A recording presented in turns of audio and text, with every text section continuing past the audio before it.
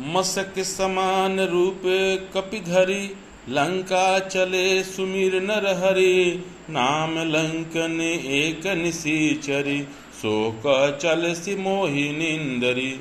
मच्छर के समान रूप धरकर हनुमान जी ने नरहरि का स्मरण कर लंका में प्रवेश किया।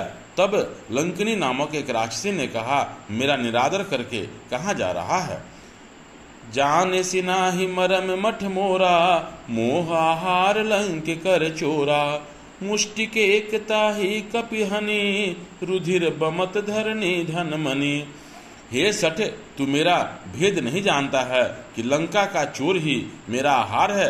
हनुमान जी ने उसके एक घुसा मारा तो वह रक्त बमन करती हुई पृथ्वी पर गिर पड़ी। पुनि संभारी उठी सोलंका जोरी पानी कर विनय सशंका। जब राम नहीं ब्रह्मा बर दिन्हा, चलत बिरंच कहाँ मोहि चिन्हा। परंतु फिर वह लंकनी संभल कर उठी और हाथ जोड़कर डर के मारे प्रार्थना करने लगी। जब ब्रह्मा ने रावण को बर दिया था तो चलते समय मुझे यह पहचान बतला दी थी।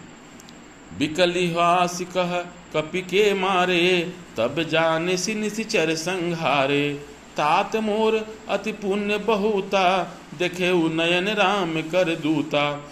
जब बानर की मार से तू व्याकुल होगी, तब जान लेना कि अब राक्षस मारे जाएँगे। हे तात, मेरा बड़ा भारी पुण्य है, जो मैंने अपने नेत्रों से श्री रामचंद्र जी के दूत को देखा है।